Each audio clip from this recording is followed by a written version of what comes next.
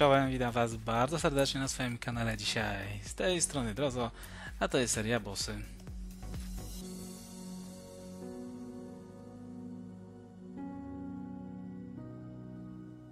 Dzisiaj sprawdzimy sobie bossa Grand Canon Dominus. Jest to czwarty z kolei boss w zamku Falconów, z którym musimy się spotkać tuż przed finalną e, walką z głównym e, bossem Grandmaster Oberonem. Droga, którą ja Wam tutaj pokażę, jest to najkrótsza droga, jeżeli nie mamy odblokowanego skrótu do innej e, części tego, tego zamku. Tak jak powiedziałem, możemy na niego tylko i wyłącznie pójść na tego bossa, jeżeli wcześniej zabiliśmy trzy poprzednie bossy, czyli Grand Commandera Sorena, Preceptor Lazare i Grand Chaplaina Gandera. E, te wszystkie bossy są już na moim kanale i oczywiście linki wrzucę tam na dole w opisie.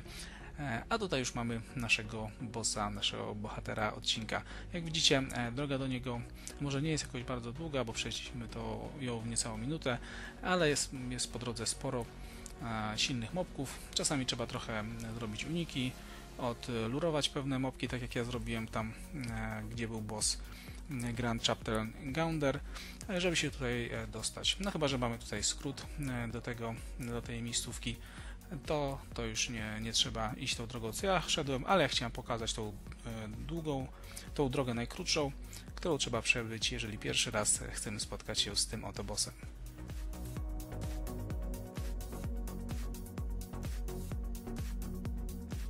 Sam boss, podobnie jak inne bossy w tym zamku, ma około 15 tysięcy HP, daje nam 11 tysięcy expa. Jest odporny aż w 60% na fizykę i w 50% na energię i śmierć.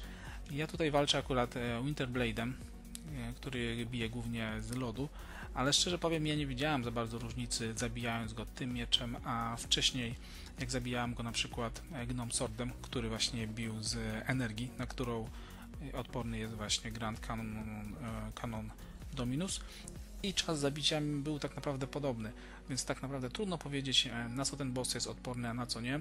Tibiopedia z drugiej strony mówi, że ten boss e, nie jest na nic odporny i na wszystkie żywioły jest neutralny, a Tibia Wiki mówi, że jest właśnie odporny w 60% na fizykę i 50% na energię i śmierć.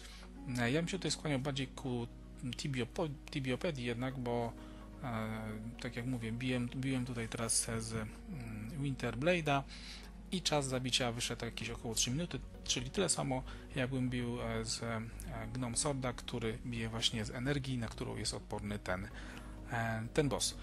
Co do lota, może z niego wypaść Masterman Shield, Golden Armor, no i tutaj też jest taka niezgodność, bo Tibia Wiki mówi, że Falcon Bow, Falcon Wand i Falcon Plate, natomiast Tibiopedia mówi, że z tych lepszych falconowych itemków może wypaść ty tylko um, Falcon Plate. Tak, na, tak naprawdę do końca tego nie wiadomo, jednak e, nie ma tych statystyk za dużo i dlatego są takie rozbieżności między Tibiopedią a e, Tibia Wiki. Tak naprawdę pewnie za jakiś czas dopiero te statystyki będą bardziej takie e, dokładne. Był on chyba najgorszym bossem, z którym się tutaj spotkałem, jeżeli chodzi o ten zamek.